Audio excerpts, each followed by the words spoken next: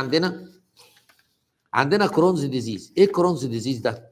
Crohn's disease ده عبارة عن مرض بيصيب القناة الهضمية من الشفايف للشرج ركز بقى.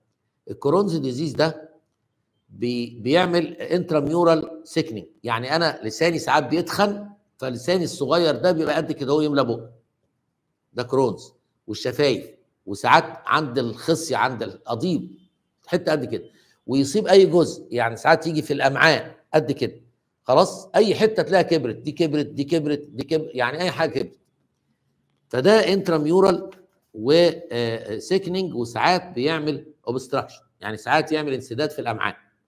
وساعات يفتح على حتة يعمل fistula يوصل للخارج لكن اللي أنا عايز أقوله لك إن Crohn's disease ده مرض نفسي مناعي تورمي يزداد نشاطه مع الخوف والامتحانات يعني كان بيجي لي دايما في الامتحانات ويزداد مع التدخين والمخدرات ويخف تلقائيا بمجرد اختفاء الأسباب.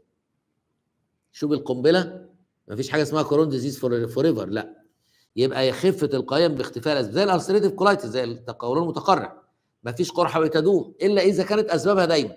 بياكل شطة وبيدخن وبيسهر وبياخد حاجات حادقة وحاجات مسبكه ده بيبوظ الدنيا. هو مش قادر يغير عاداته يبقى القرح هتستمر.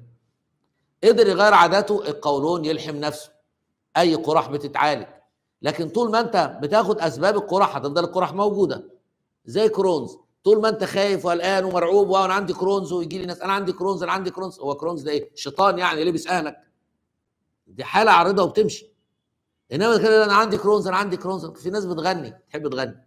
إذا Crohn's ده مرض مناعي نفسي يعني تورمي يزداد وينشط مع الخوف والقلق والامتحانات و و و ويخف تلقائيا بمجرد اختفاء الأسباب. بيسموه self-limiting يصيب أي جزء في الجهاز الهضمي من اللسان والشفايف وحتى الشرج تعال الشرج ورم قد كده وده تورم داخل العضلات المعوية transmural inflammation مع ألام شديدة في البطن طبعا abdominal pain وضيق في القناة الهضمية قد يؤدي إلى انسدادها انسدادها بتتسد وبعد شوية بقى تهدى كده وتدلك كده وتسمي الله تلاقيها اتفك ده اسمه مرض Crohn's وده مرض نفسي مناعي ويعني يستجيب للعلاج سريعا و self-limited يعني بيحدد نفسه بنفسه.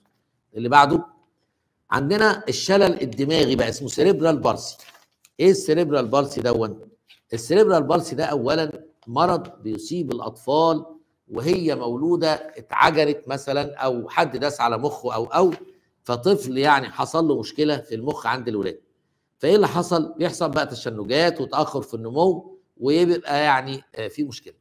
الشلل الدماغي ده أو ال cerebral palsy بيبقى طبعا طبعا pure motor no progression non familial non fatal non curable يعني مرض عيل عايش بتأخر في النمو وتأخر في الفهم آه بيعيش عمره كله كده مش مش كامل يعني.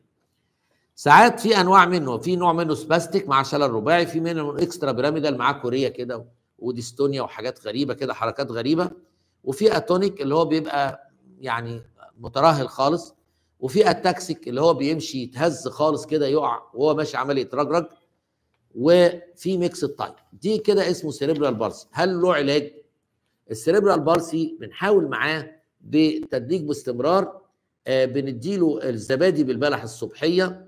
بنجرب مع بعض الحالات آه سم نحل خفيف كده بجرعات مخففة بعض الحالات بتستجيب وبتتحسن والأعراض بتبتدي تقل وخاصة إذا كان معاها تشنجات بقى كتير وصراخ بالليل و و و ففي آه system كده بنمشي عليه بيقلل هذه الأعراض.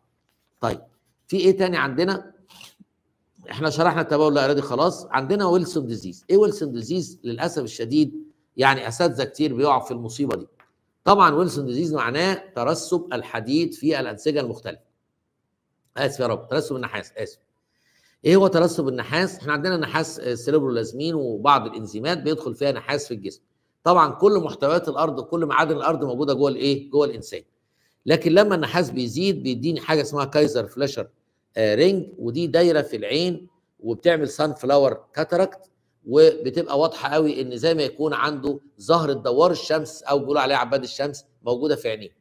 خلاص؟ أول ما تشوفه تقول ده Wilson disease أو ترسب النحاس آه في العين.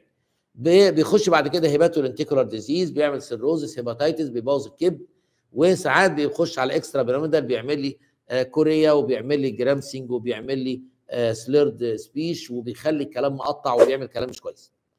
المصيبة إن يجي لي أولاد خلاص؟ آه، متشخصين ان هم ويلسون. عينيهم ما فيهاش حاجة الكبد ما فيهوش حاجة. طب هو عنده كبد وطحال وتورم أو كان عنده تورم غدد. ده عنده Epstein-Barr virus positive يعني عنده إصابة فيروسية.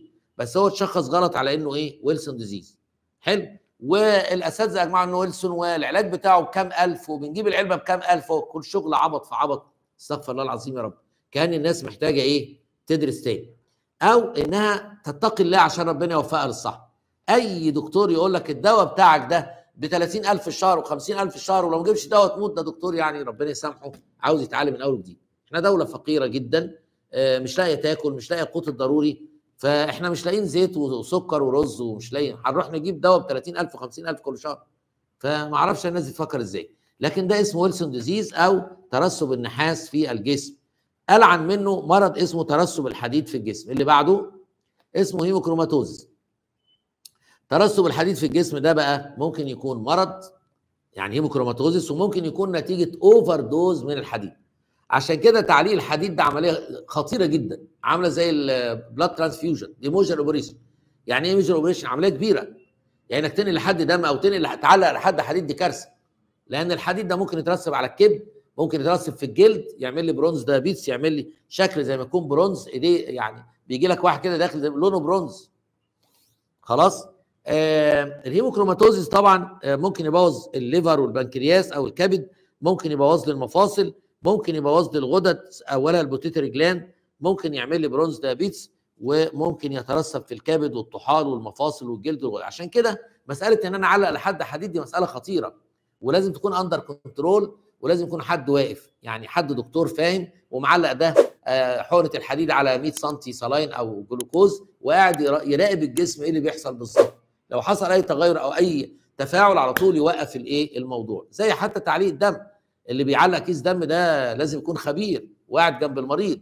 لو حصل أي حاجة overload ولا نيلة ولا بتاع يروح موقف الموضوع. طيب ده اسمه hemochromatosis أخطار نقل الدم. يا ترى وإحنا بننقل الدم يا جماعة ممكن يحصل إيه؟ الناس تقول لك فلان عايز نقل دم قل له دم بس نقل الدم ده فيه مشكلة كبيرة. ليه؟ لأنه ممكن يبقى overload يعمل له arrhythmia يعمل له ضربات قلب سريعة. ممكن الدم ده برغم الاختبارات يطلع غير متوافق فيتجلط الدم بتاع المريض.